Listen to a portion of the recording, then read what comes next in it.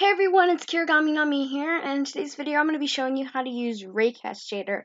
Raycast Shader is basically a really beautiful shader that makes your model look like really cool, and it makes your model basically look really light, and um, it's just a very pretty shader, so I'm going to be showing you how to use it.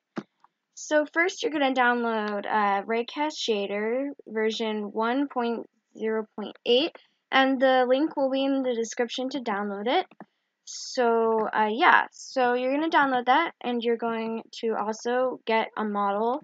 So I'm just going to go, I saw a model on the internet. Uh, I'm just going to go and I'm going to find that. So, uh, let's see. So you're just going to get your model. Uh, link to her will be in the description. She's probably not that hard to get to, but yeah.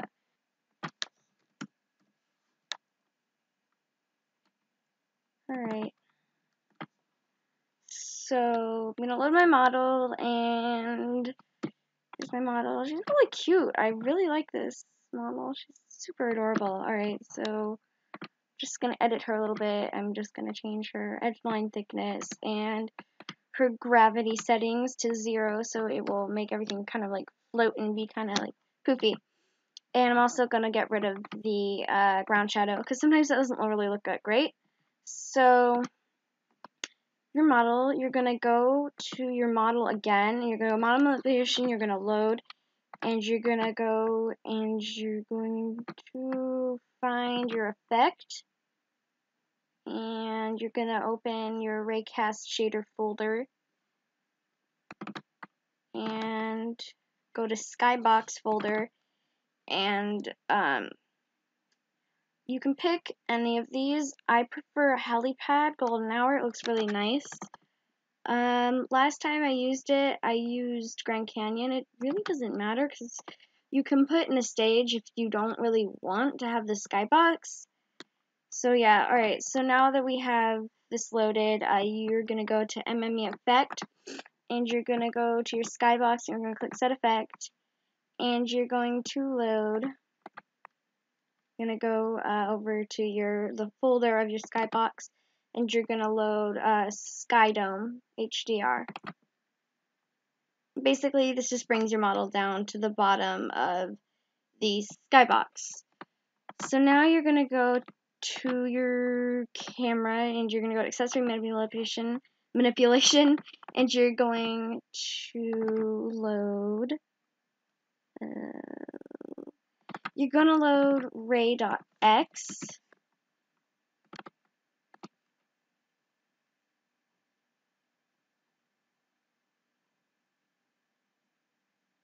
And it might take a little bit because it's a large file.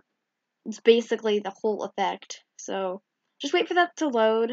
Uh, yeah, so basically kind of makes everything look softer, but this doesn't really look like Raycast Shader. It doesn't actually like look like the effect. So what you're going to do is you're going to go to MME Effect, you're going to Effect Mapping, and you're going to click your model, and you're going to set an effect, and basically what you're going to do is you're going to go to the main folder, and you're going to load main.fx. And so now, in all the videos you watched they're probably like, and then you're done. Well, you're not, because the model's black, and it's dark, and it doesn't look good. So, basically, you need to go to MME Effect, and you're going to go to ENV light map and you're going to select your skybox and you're going to go to the folder of your skybox and you're going to click uh, skylighting HDR. And now your model is light and it has raycast shader and it looks really great. But you might want to control it a little bit, maybe it's not at the right setting. So you can go to model and you can load um, raycontroller.pmx. And this basically lets you control everything, like the direct light and the just like the shininess of everything. And it's just really, really helpful effect. So yeah, I hope this guy's help. Ugh, I hope this video helped everyone out. Uh, I know this has been like a big problem with Raycast Shader. And yeah, so thank you so much for watching. I'll see you in my next video. Bye!